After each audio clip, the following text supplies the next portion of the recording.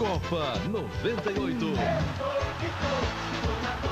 Tá chegando a hora da emoção entrar em campo.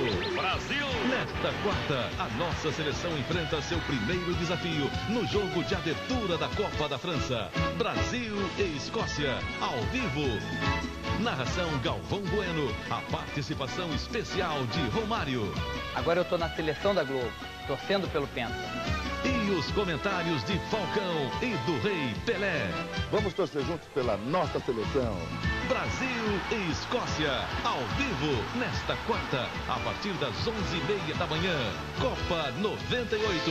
A Globo é mais Brasil.